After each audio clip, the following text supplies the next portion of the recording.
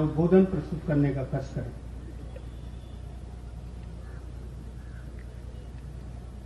आज लखीमपुर जनपद के लिए एक बहुत ही हर्ष का दिन है, सौभाग्य का दिन है। हमारा जिला, जो कृषि प्रधान जिला है, वहाँ पे कृषि महाविद्यालय की स्थापना करने के लिए मुख्य अतिथि के रूप में हमारे प्रदेश के यशस्वी मुख्यमंत्री जिनके नेतृत्व में आज पूरा प्रदेश बहुत ही तेज़ी से विकास के रास्ते पे बढ़ रहा है। ऐसे आदरणीय महाराज, माननीय योगी आदित्यनाथ जी, हमारे कृषि मंत्री, जो हमारे प्रदेश अध्यक्ष भी रहे, आदरणीय सूर्य प्रताप शाही जी, धौरारा की हमारी सांसद, श्रीमती रेखा वर्मा जी। दूसरे हैं श्री अमित कुमार वर्मा ग्राम बाबरपुर विकासखंड बाकेगंज, जनपद हमीरपुर।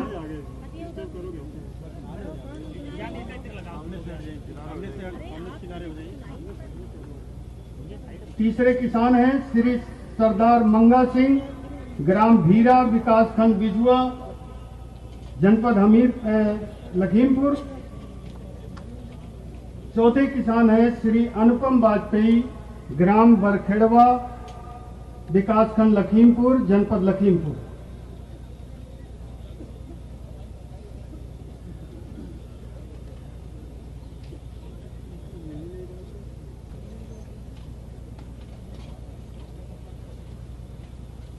भारत माता की।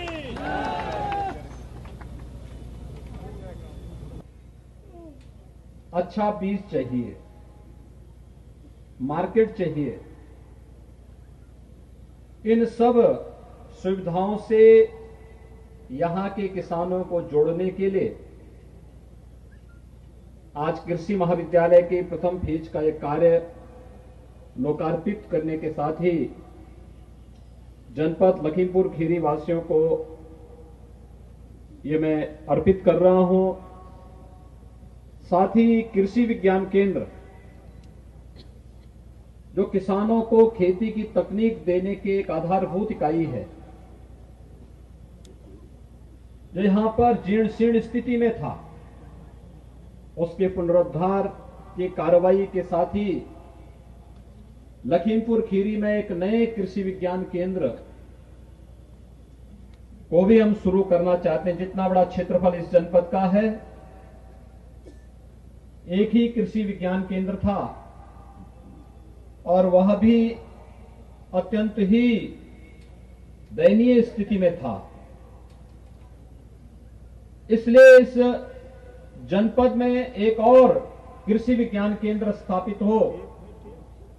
इस दृष्टि से हम लोगों ने उस पर भी कार्य करना प्रारंभ कर दिया है।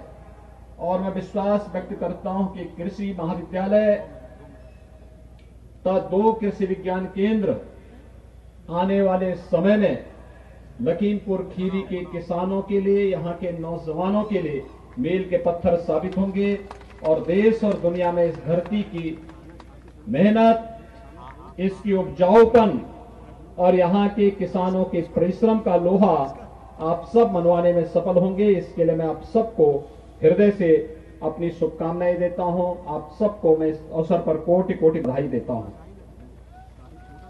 भाइयों बहनों, हम सब जानते हैं कि अगर किसान पिछली सरकारों के राजनीतिक एजेंडे का हिस्सा होता तो इस देश में किसान आत्महत्या नहीं करते।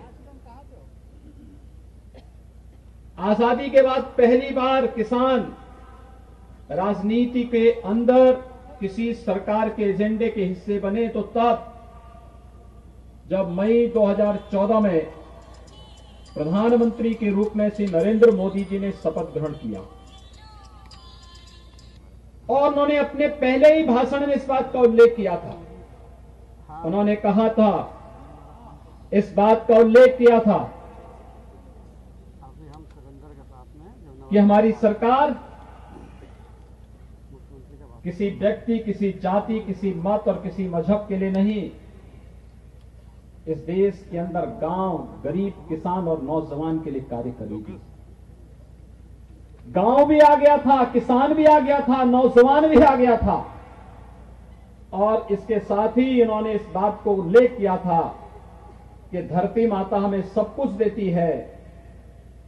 हम अपने स्वयं के स्वास्थ्य की चिंता करते हैं। लेकिन इस धरती माता के स्वास्थ्य की चिंता नहीं करते। और उन्होंने तभी सॉयल हेल्थ कार्ड की घोषणा की थी। सॉयल हेल्थ कार्ड यानी मृदा परीक्षण के कार्ड। देश के अंदर किसानों को वितरण की एक व्यवस्था प्रारंभ की। सचमुच जिन किसानों ने सॉयल हेल्थ कार्ड के साथ अपनी खेती को जोड़ा, और मांग के अनुरूप ही वे तत्व दिए वहाँ पर किसानों ने कम लागत में ज़्यादा उत्पादन करना भी सीखा। जहाँ पर हम केवल देखा देखी उर्वरक डालते हैं फर्टिलाइज़र डालते हैं केमिकल डालते हैं, खेती की उर्वरता भी कम होती है और खेती का लागत भी बढ़ता है और उत्पादन भी कम होता है। पहली बार हुआ जब देश के किसानों की आत्मा को छूने वाले उन भावनात्मक मुद्दों को उठाने का कार्य देश के प्रधानमंत्री नरेंद्र मोदी जी ने किया। और उसके बाद उन्होंने प्रधानमंत्री फ़सल बीमा योजना है, प्रधानमंत्री कृषि सिंचाई योजना है। एमएसपी के माध्यम से लागत का डेढ़ गुना दाम किसानों को देने की कार्रवाई हो।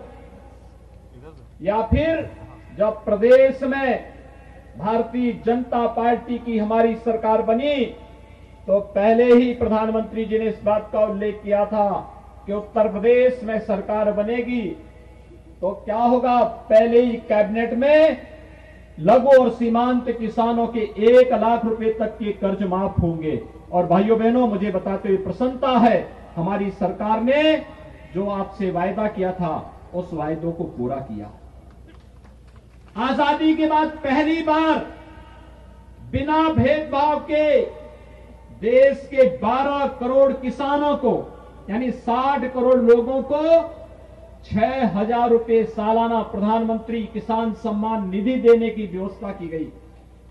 और पहली बार जब हम लोग 2017 में सत्ता में आए, मैंने उस समय देखा था कि गन्ना किसानों का छह वर्षों का गन्ना मूल्य का बकाया बकाया था। मैंने जब पूछा, ये कैसे होगा? लोग कहते थे, नहीं हो पाएगा। मैंने तभी कहा था, मैंने कहा इस सीज़न के अंदर अंदर एक गन्ना मूल्य का भुगतान करना होगा। और आज मुझे बताते हुए प्रसन्नता है कि नौ चीनी मिलें आपके जनपद लखीमपुर खीरी में है। तीन चीनी मिलों पर बकाया कुछ है।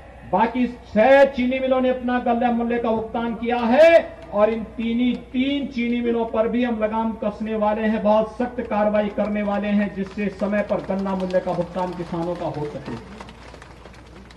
किसान भाइयों का शोषण करने की छूट हम किसी को नहीं देने वाले हैं। और अगर किसी ने गलत फहमी पाली होगी कि किसानों के गन्ना मूल्य का भुगतान रोक करके स्वयं कमाई कर लेगा। ऐसा नहीं होगा। अभी हमने महाराजगंज में एक चीनी मिल को नीलाम करते हुए किसानों का गन्ना मूल्य का भुगतान कराया है और फिर ये कदम न उठाना पड़े। इसके लिए अच्छा होगा कि समय रहते इन सभी गन्ना किसानों का गन्ना मूल्य का भुगतान होना चाहिए। कल हम लोगों ने लखनऊ में एक वेब पोर्टल और एक किसान ऐप लागू किया है। हमने गन्ना समितियों को फिर से पुनर्जीवित करने की कार्रवाई की है। गन्ना माफिया समाप्त हो। किसान को ईमानदारी से पर्ची मिल सके। पर्ची की कालाबाजारी समाप्त हो और साथ साथ किसानों के गन्ना को कोई घड़तोली करने का दुस्साहस भी न कर सके। और अगर करेगा तो फिर बहुत सख्त कार्रवाई करने की तैयारी होगी। इसी दृष्टि भाइयों बहनों, ये टेक्नोलॉजी के साथ जोड़ने की कार्रवाई किसानों के हितों को ध्यान में रख करके ही सरकार के द्वारा प्रारंभ किया गया।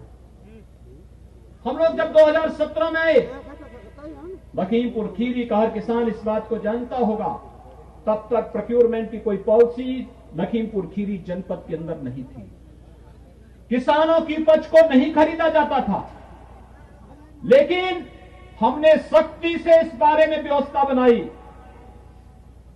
पिछले दो वर्षों में हमने तीन तीन हज़ार केंद्र प्रारंभ किए थे, और इस बार प्रदेश के अंदर पाँच हज़ार क्रय केंद्र हमने स्थापित करने के लिए कहा है कि हर जनपद में जहाँ भी किसान मांग करें, वे लोग वहाँ पर विभिन्न विभागों के द्वारा, जिन संस्थाओं के द्वारा क्रय केंद्र स्थापित किए जाने हैं, वे क्रय केंद्र स्थापित करते हुए किसानों को जागरूक भी करें। लेकिन साथ साथ किसी किसान को परेशानी न हो, ये भी सुनिश्चित करें। और जिस किसान की उपज को आपने तोड़ लिया है बहत्तर घंटे के अंदर आरटीजीएस के माध्यम से उसके खाते में पैसे देने की व्यवस्था भी सुनिश्चित कर दीजिए, जिससे किसान को फिर से पैसे के लिए भटकना न पड़े।